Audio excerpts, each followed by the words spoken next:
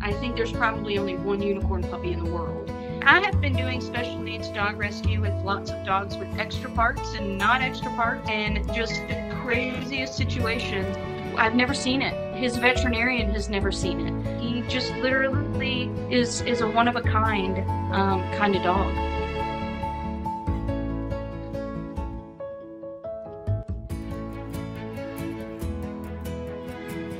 He was more than likely dumb, and he went to the vet.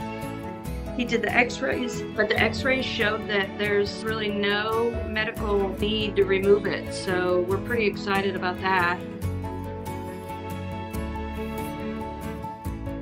But because we specialize in special and we want them to have the ability to keep the thing that makes them special. He's a happy, healthy puppy with an extra part.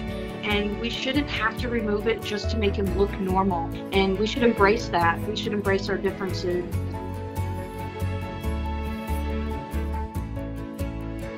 He just wants to play and bite and and chew on your shoestrings and do everything that, that a normal puppy does. He pretty much just, he makes you melt.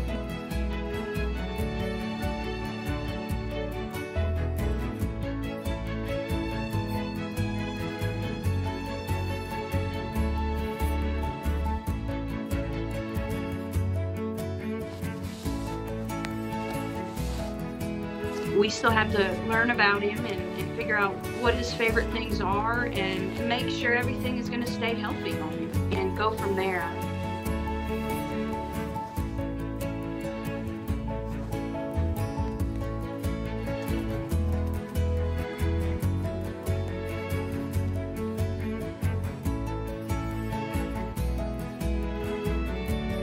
Every one of our dogs has a big story to tell.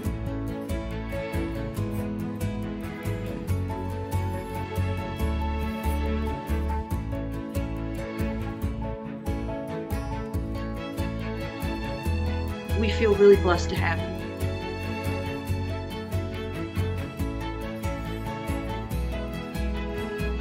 He has no idea that there's something different about him. He knows he's perfect and we know he's perfect.